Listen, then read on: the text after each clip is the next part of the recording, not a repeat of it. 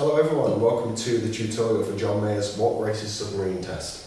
This tutorial is going to be in two parts. The first part is going to be chords and timing and the second part is going to be the right hand finger picking.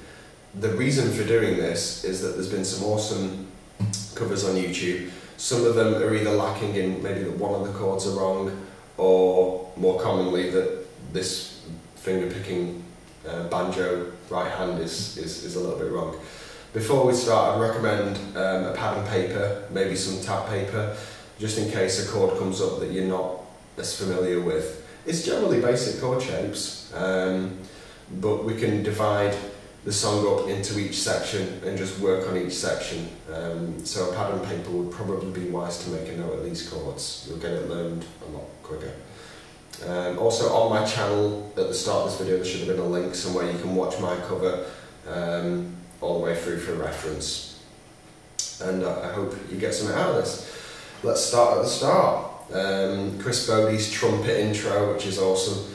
Um, a couple of chords there, uh, very easy stuff. We won't really worry about the finger picking, um, but let's do that. We've got a C chord, which I'm assuming that most of you know. You've got three on the A string, two on the D string, open G, and one on the B string.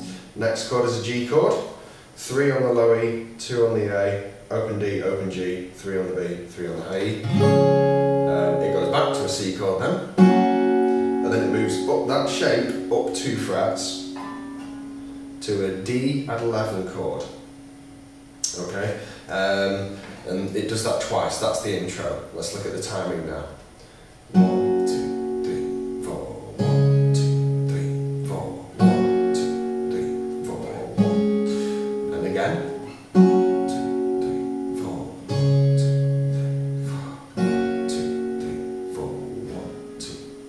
four. You get the idea. In the next lesson, there'll be all of the um, the relative. Um,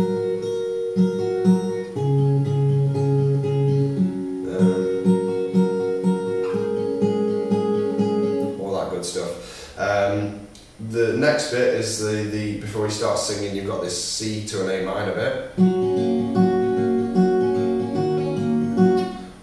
Stuff. Really, that's simple. It's a C chord, which we just did, and then an A minor chord, which is an open A, two on the D string, two on the G string, one on the B string.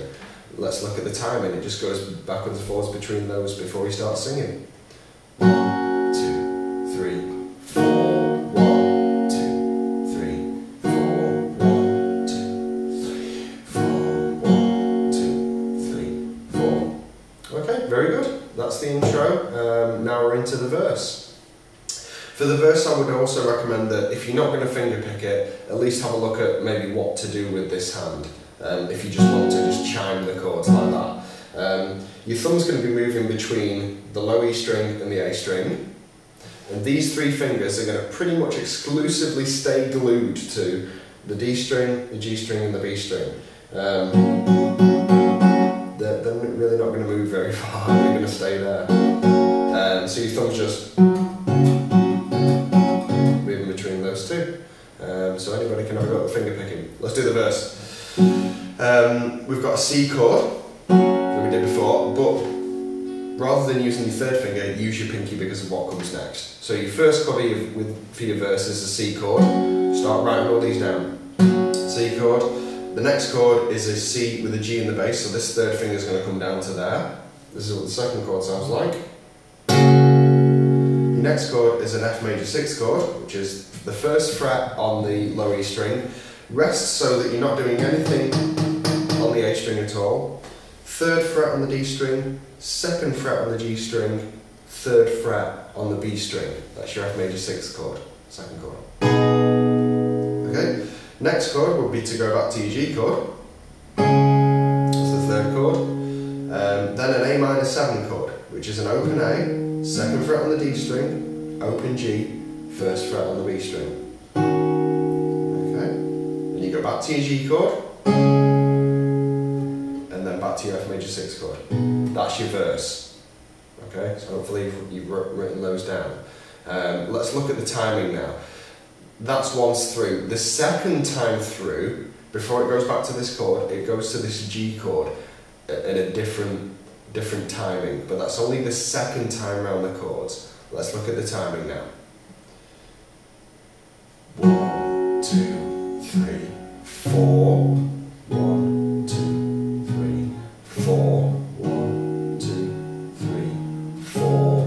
One, two. Second time.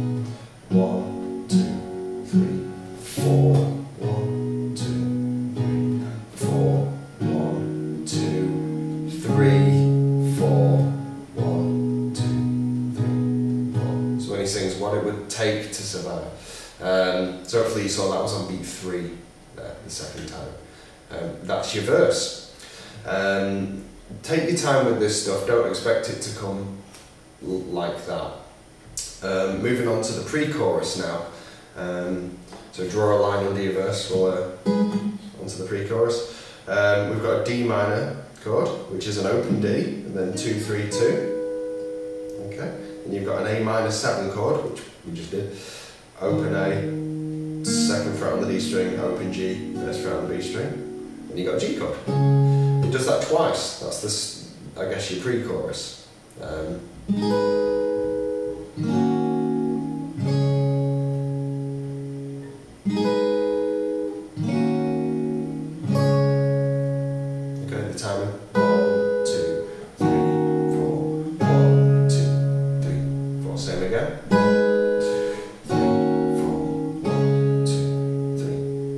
Comes the chorus, which is when he sings, and his wife told his kids he was crazy.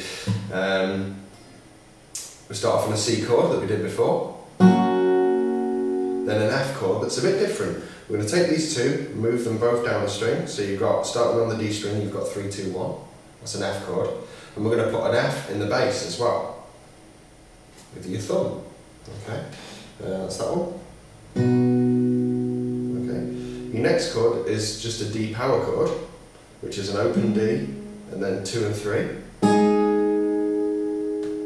Okay, so that's the first bit of your chorus. I'm going to chop this chorus up into three sections. So that was your first section C, F, and D power chord, which starts when his wife told his kids he was crazy. Um, let's look at the timing of that first part of our chorus.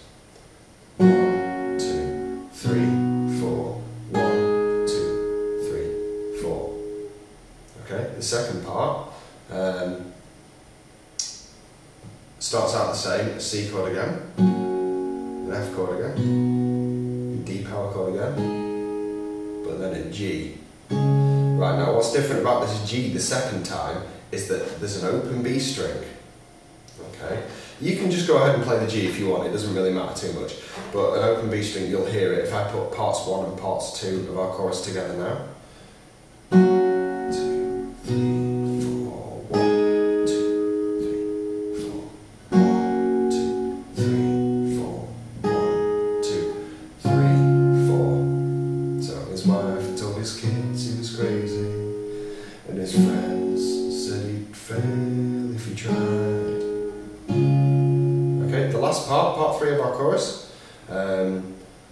Is the C chord again, but with a will to work hard, F. Okay, um, now an A minor seven which is an open A, and then two, open one.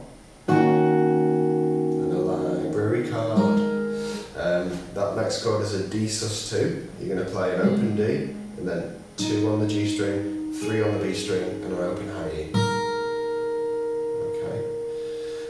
Then you've got an F chord again,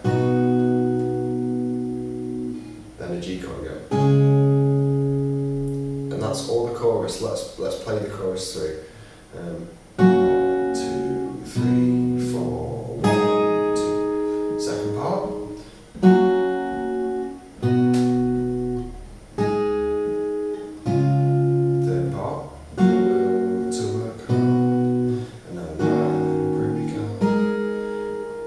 He took a homemade fan like G.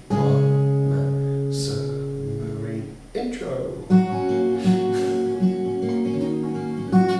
Okay, hopefully that's been helpful. Um, if you've made it through to there and you don't want to pull your hair out, you're doing fantastically well. Um, stick with this stuff, it's an awesome tune, This is the whole album. Um, hopefully, if it's been helpful, thumbs up, subscribe, you know the deal. And um, if you're crazy enough, I'll see you in part two for all the finger picking madness. But it really is important that you kind of get a rough working version of that down first. Um, refer back to my um, the cover that I did on my channel with the link at the start. Um, lots of listening to the, to the piece, get comfortable with that. Um, and if you're crazy, I'll see you in part two. Thanks. Bye bye.